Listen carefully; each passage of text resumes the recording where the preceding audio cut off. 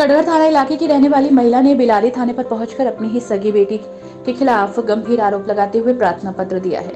पीड़ित महिला का आरोप है कि उसकी सगी बेटी द्वारा धोखाधड़ी करके उनके खाते में पड़े हुए 20 लाख रुपए में से 8 लाख रुपए बगैर बताए निकाल लिए गए और उसका दुरुपयोग किया गया, जिसकी शिकायत सुनीता द्वारा थाने में की गई और इंसाफ की गुहार लगाई गई। यासमीन, मुरादाबाद की।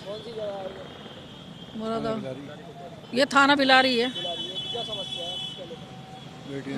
मेरी मैंने मकान बेचा था तो वो मैंने बैंक में पैसे डाल दिए थे बीस लाख रुपए। सर उसके बाद का खाता होता और साढ़े तीन सौ गज का प्लॉट है ना? वो लड़की ने वो अपने नाम करा लिया मैंने कर दिया। तरन्नुम। ना बिना बताए निकाल लिया आठ लाख रुपए। हाँ। दे दूँगी दे दूँगी। बोली दे दूँगी दे दूँगी और अभी तक नहीं दी। अब कह रही है तुमसे लिए जाओ तो ले लो। जी वो कह रहे हैं हम करा देंगे तुम्हारा वापस करा देंगे तुम्हारा पैसा। तरन्नुम। ये बिलारी में रहती है। पुलिस ने मामले की गंभीरता को देखते हुए मामले में संज्ञान लिया है और मुकदमा दर्ज कर लिया है। जाँच के बाद कार्रवाई का आश्वासन दिया है।